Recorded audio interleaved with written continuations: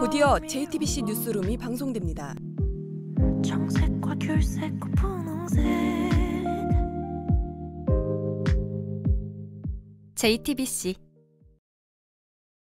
시청자 여러분 뉴스룸을 시작하겠습니다. 정부 지원의 사각지대로인 아이들 최근 오늘부터 연속 보도해 지난주 저희 보도 이후 멋진 변화가 있었습니다. 주말 JTBC 뉴스룸 저녁 6시 새로운 모습으로 찾아갑니다. JTBC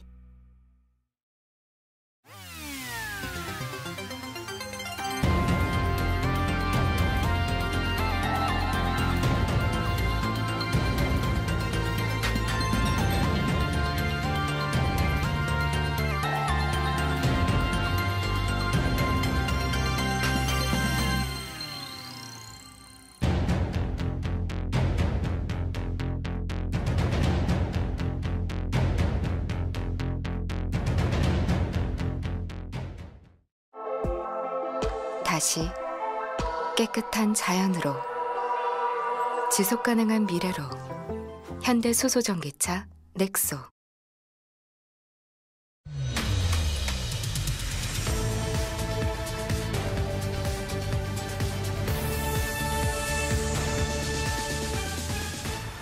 오늘의 주요 뉴스입니다. 광주 건물 붕괴 사고 희생자들의 발인이 오늘부터 시작됐습니다. 참사 현장에서 목숨을 걸고 구조에 나섰던 소방관들을 오픈마이크에서 만났는데 더 빨리 구해드리지 못해 죄송하다며 고개를 숙였습니다. 뉴스룸은 성추행을 당한 뒤 스스로 목숨을 끊은 이중사의 피해자 진술 조서를 입수했습니다.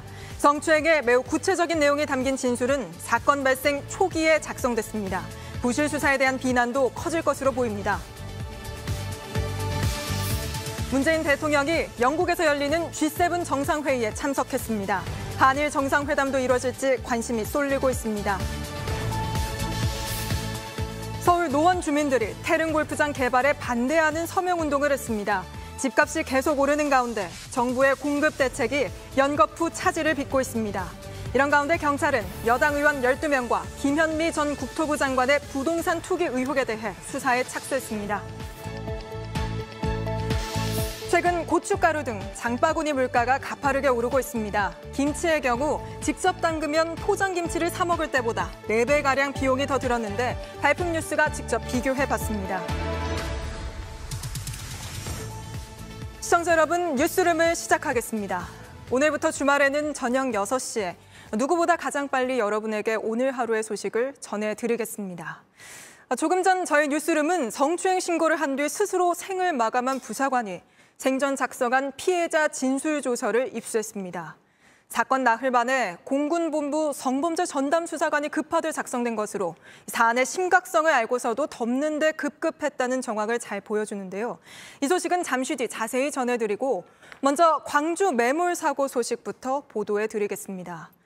사고 나흘째 희생자의 첫 발인식이 엄수됐습니다. 아버지와 함께 암 투병 중인 어머니에게 가려던 막내딸이었습니다. 앞좌석에 탔던 아버지는 병원에서 치료 중인데 아직 딸이 세상을 떠난 걸 알지 못한다고 합니다.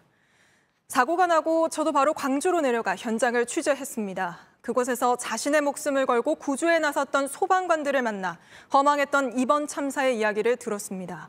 소방관들은 8명의 시민을 구했으나 모두 구하지 못해 죄송하다고 고개를 숙였습니다. 먼저 제가 담아온 광주의 현장부터 전해드리겠습니다. 네, 다음 소식입니다. 문재인 대통령이 영국에서 열리는 G7 정상회의에 참석했습니다. 코로나로 막혀있던 대면 정상외교가 본격적으로 시작된 겁니다. 무엇보다 관심이 집중되는 건 일본 스가 총리와의 양자회담이 이뤄질진데요. 박소연 기자가 보도합니다. 이번 G7 정상회의에서 스가 일본 총리의 목표는 도쿄올림픽에 대한 지지를 이끌어내는 겁니다. 보리스 존슨 영국 총리는 지지를 표명했지만 일본 내 지자체들은 감염 걱정에 행사를 줄줄이 취소하고 있습니다. 이 소식은 구혜진 기자입니다. 오늘부터 새롭게 선보이는 코너 발품 뉴스 시간입니다. 우리 생활 속 궁금한 현장을 기자가 직접 찾아가서 어디까지 사실인지 따져보겠는데요. 오늘의 주제는 김치입니다. 김치 재료는 장바구니 물가의 척도인데 배추부터 고춧가루까지 너무 올랐단 말이 나옵니다. 요즘 김치는 만들어 먹는 게 사 먹는 것보다 비싸다는데 진짜인지 윤정식 기자가 김치를 담궈 비교해 봤습니다. 주택 공급 대책의 핵심인 태릉 골프장 개발을 주민들이 거세게 반대하고 나섰습니다. 오늘도 서명 반대 운동이 이어졌습니다. 집값은 계속 오르는데 정부가 집값 잡겠다며 야심차게 내놓은 주택 공급 계획은 말 그대로 난항을 겪고 있습니다. 정아람 기자가 현장 취재했습니다. 프란치스코 교황이 대전교구 교구장인 유흥식 라자로 주교를 교황청 성직자성 장관에 임명했습니다. 성직자성은 전 세계 사제들의 사목 활동을 심의하는 부처로 한국인 성직자가 장관에 임명된 건 처음입니다. 문재인 대통령은 우리나라의 위상을 드높인 기쁜 소식이 아닐 수 없다며 축전을 보냈습니다. 터키의 한 스포츠 에이전시가 프로배구 흥국생명의 이다영이 그리스 일부 리그 팀과 계약했다고 발표했습니다. 에이전시는 그리스에서 뛰는 첫 한국인 선수가 될 거라고 했습니다. 하지만 배구협회는 사회적 무리를 일으킨 선수에게 이적 동의서를 발급할 수 없다는 입장입니다. 이다영은 학교 폭력 파문으로 쌍둥이 자매 이재영과 함께 무기한 출전 정지 처분을 받았습니다. 테니스 세계 1위 조코비치가 이긴 것보다 클레이 코트의 황제 흙신 나달이 졌다는 게 더 화제입니다. 프랑스 오픈은 나달이 최근 4연속 우승을 포함해서 통산 13번 우승했던 독무대입니다. 하지만 이번엔 조코비치가 4강전에서 4시간 넘는 혈투 끝에 나달을 세트 스코어 3대 1로 꺾고 결승에 진출했습니다.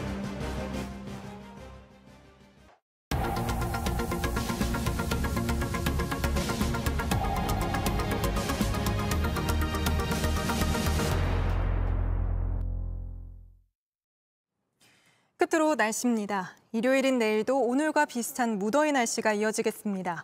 낮 최고 기온은 서울이 30도, 대전 31도 등 전국이 30도 안팎의 기온을 보이겠습니다. 다만 대기 불안정으로 남부 내륙 지방을 중심으로 5에서 20mm 정도의 소나기가 오겠습니다.